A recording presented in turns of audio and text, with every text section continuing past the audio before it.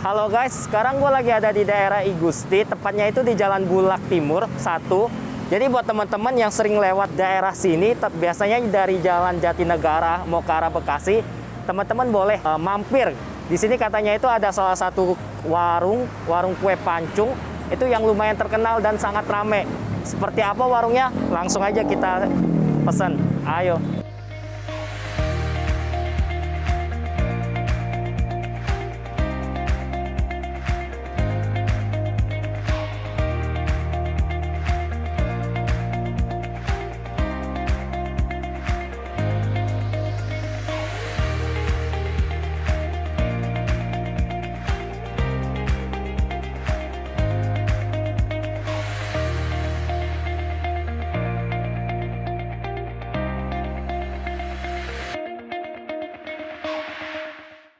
Oke, berhubung di sana itu sangat ramai dan kita menerapkan protokol kesehatan, jadi kita take away aja makanannya. Di sini itu gua ada pesen 4 menu. Sebenarnya banyak sih ya di sana itu ada ada sekitar belasan menu dan beragam rasa. Jadi di sana itu bukan cuma jual kue pacongnya aja. Nah, jadi di sana itu juga ada jual Indomie, telur setengah mateng, beraneka ragam minuman dan sebagainya. Oke, jadi di sini gua ada pesan 4 menu. Yang pertama itu pandan, original, keju, coklat, keju susu. Nah, di sini kita bisa pesen per loyang dan per porsi. Bedanya apa? Per loyang itu jadi teman-teman ketika pesen per loyang itu dapat langsung 4 piece. Nah, kalau per porsi itu dia dapatnya cuma satu. Oke? Tanpa berbasa-basi lagi, kita langsung coba aja.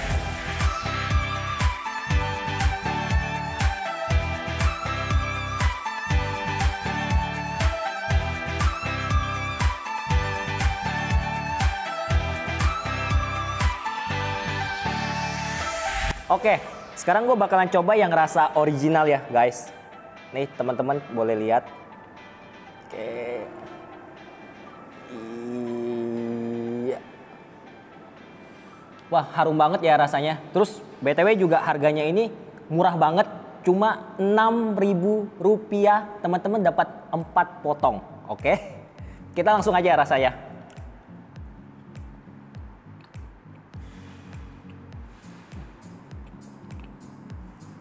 Tepungnya berasa banget. Terus ini juga nggak terlalu manis ya. Jadi buat teman-teman yang lagi program diet atau sebagainya ini cocok banget nih buat dimakan. Sambil buat ngopi terus mungkin ngerjain tugas atau skripsi atau bikin konten ini cocok banget nih ya buat temen. Uh, isi waktu luangnya.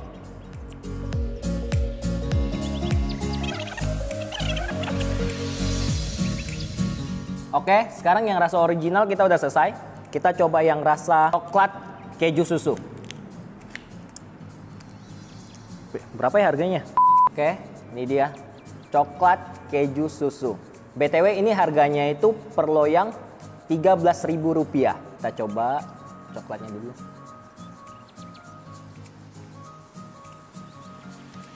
Enak banget cuy coklatnya. Oke, kita langsung ya coba ya.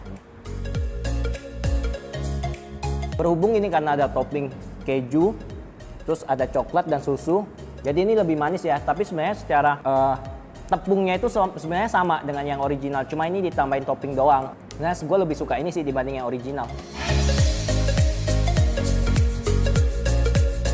Oke, sekarang kita coba yang rasa keju.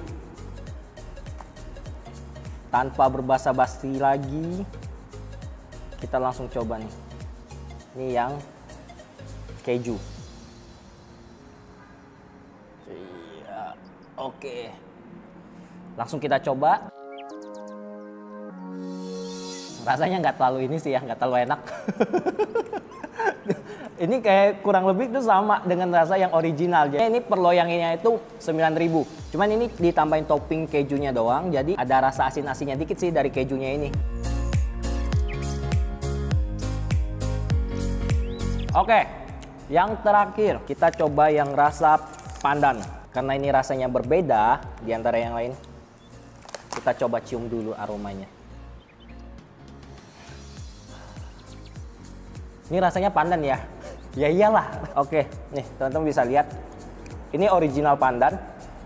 Harganya itu 9.000 sama dengan yang rasa keju tadi. Kita langsung coba. Oke. Waktu dibuka itu memang berasa sih bau pandan, tapi waktu di sekali dimakan, nah rasa pandannya nggak nggak terlalu kuat sih ya, kayak yang waktu pas pertama kali kita buka kotaknya ini. Man, kurang lebih rasanya sama dengan yang original. Jadi menurut saya sih lebih enak yang rasa original sih dibanding rasa pandan ini. Oke, gue udah selesai nge-review dari keempat makanan ini.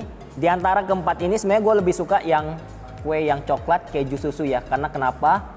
Selain ada rasa originalnya itu, terus juga ditambah topping keju susu kayaknya lebih nendang aja sih makannya. Sebenarnya ini bukan review doang sih, sebenarnya gue berasa ini kayak ini acara mukbang gitu ya.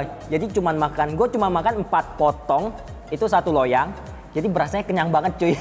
Oke, sekian review dari gue.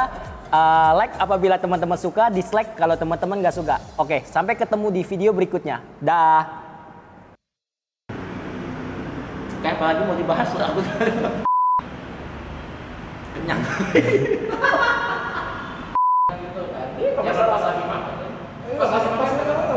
Kalau misalnya dia lama ngunyah kan, eh, karena dia pas dia langsung ngomongnya lagi, gitu.